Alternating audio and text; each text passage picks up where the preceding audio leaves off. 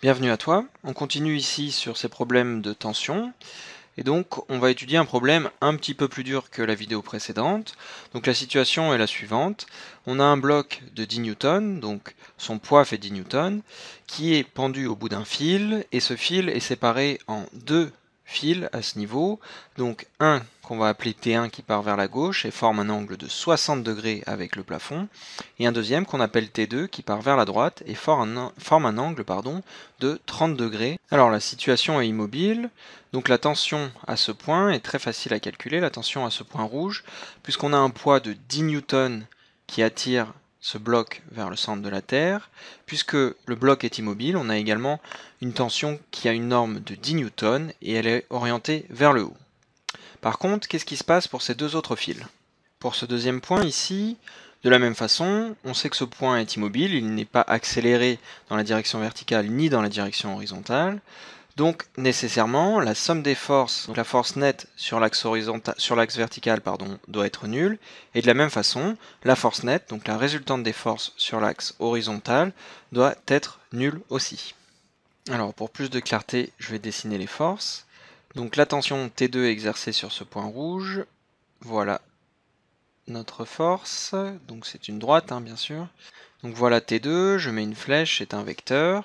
Et quelle est la composante horizontale de cette tension T2 Eh bien c'est la projection de ce vecteur T2 sur l'axe horizontal. Voilà. Et donc je vais l'appeler T2 indice X. Donc c'est un vecteur aussi.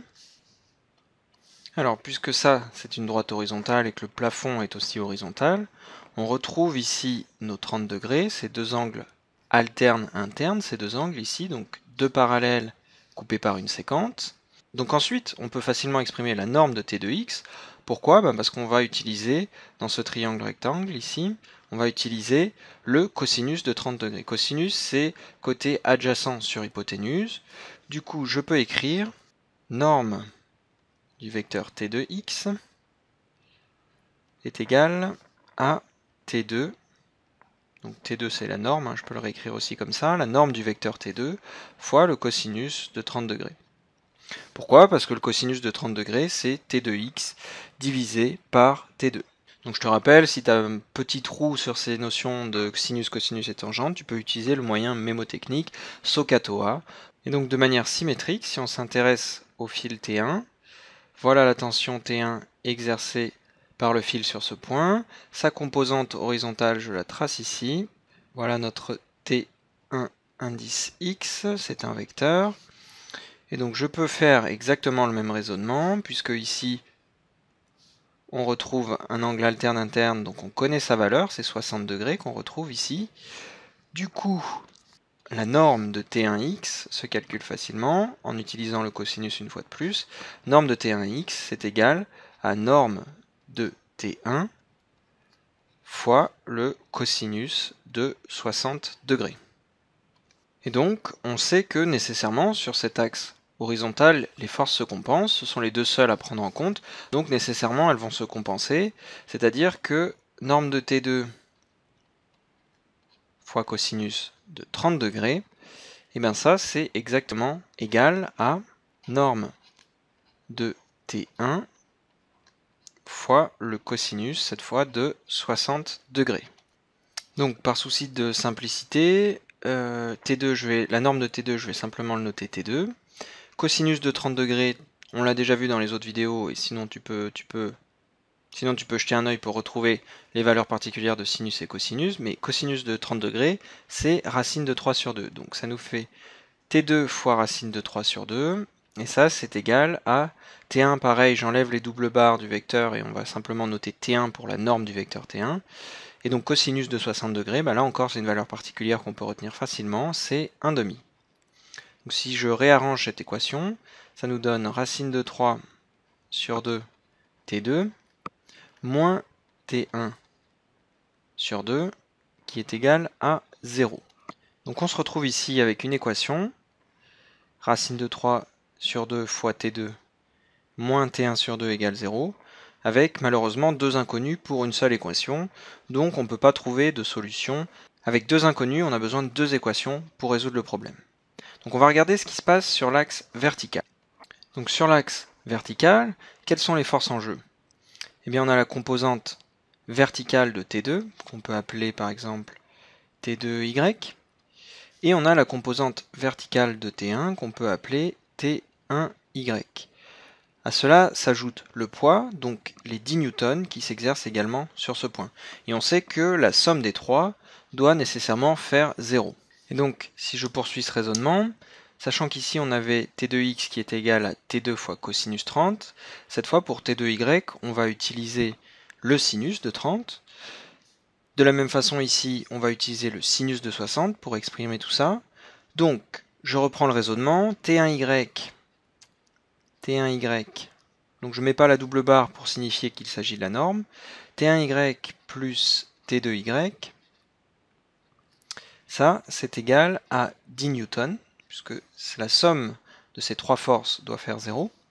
Donc T1Y, c'est tout simplement T1 sinus de 60 degrés, plus T2, on a dit T2Y, c'est T2 fois le sinus de 30 degrés, hein, c'est de la trigonométrie de base dans ce triangle rectangle. Ça, c'est toujours égal à 10 newtons.